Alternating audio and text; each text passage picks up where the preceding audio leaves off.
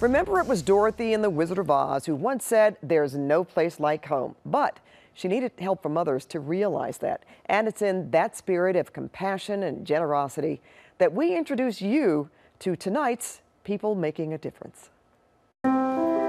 We want them to have a place that they can go to, their room, that they can actually say, There's no place like home. Crystal Emery heads the Pet Prescription Team, a group of more than 700 volunteers that travels with their therapy dogs, supporting multiple projects all over Southern California. Their latest endeavor, the No Place Like Home Project. And what we do is we go into facilities, we find a resident or a child who's in the hospital that's not going to be getting out, and we find out what they like and we redecorate their entire room. This time out, they're helping a senior resident named Gloria that had been living on the streets for years. Until the state was able to find her housing, she didn't have much when she moved in, so the team got to work. From sheets and towels to pictures and lamps.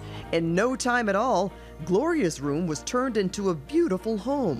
Ooh, thank Look. you. Are you shocked? Yes. Oh my God. How about that? Oh, you're awful. it's remarkable from what it was to what it is now. I've never had a bedroom like this in my life. The pet prescription team is doing their part to make a difference, one room at a time.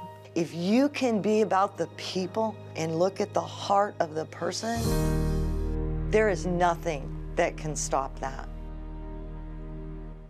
Well, if you know someone who's making a difference, tell us all about it. Just go to cbsla.com slash people.